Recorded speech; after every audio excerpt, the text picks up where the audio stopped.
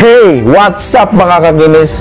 Ngayon, pag-uusapan po natin ngayon at tatalakayin natin ngayon kung pwede po ba maging bodyguard ang dating sundalo o ang retired na sundalo. Dati po nating mga sundalo at sa mga retired na mga sundalo, gustong na protection agent o licensed bodyguard para po ito sa inyo.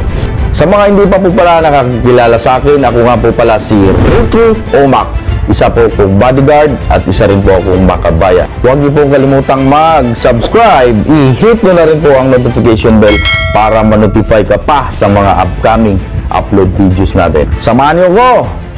Go, go, go! Yes! Yes, sir!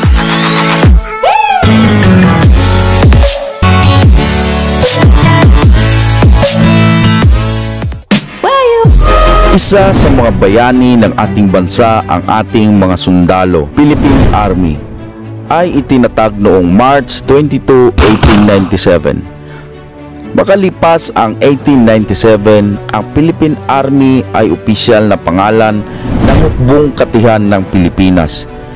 Ang pangunahing sangay ng Armed Forces of the Philippines na responsable para sa ground warfare. Ako po'y sumasaludo sa ating mga kasundaluhan. Maraming salamat po sa pagbabantay at pagliligtas ng ating bansa. Ngayon mga kakinis, tatalakayin na nga po natin kung pwede po ba maging protection agent o licensed bodyguard ang isang dating sundalo o ang retired na sundalo. Kung ano ang mga requirement, kung ano ang mga qualification. Ito ang mga kailangan ng mga dating sundalo at ito ang mga qualifications.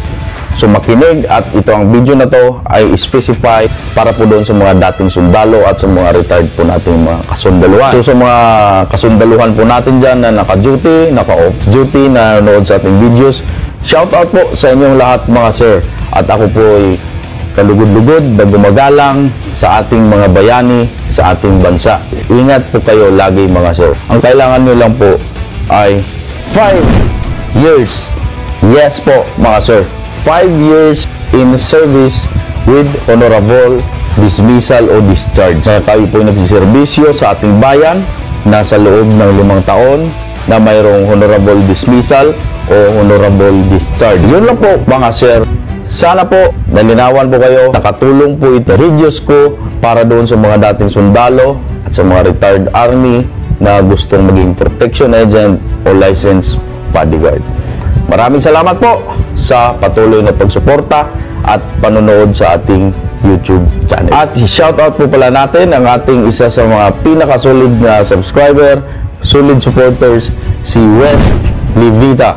Shoutout sa iyo, at ako sumasaludo sa iyo. Ingat palagi at maraming salamat sa suporta. Huwag niyo pong kalimutang mag-subscribe. I-hit niyo rin po ang notification bell para ma-notify ka pa sa mga upcoming upload videos natin. Yun lang po. Go, go, go! Yes, sir! Yes, sir!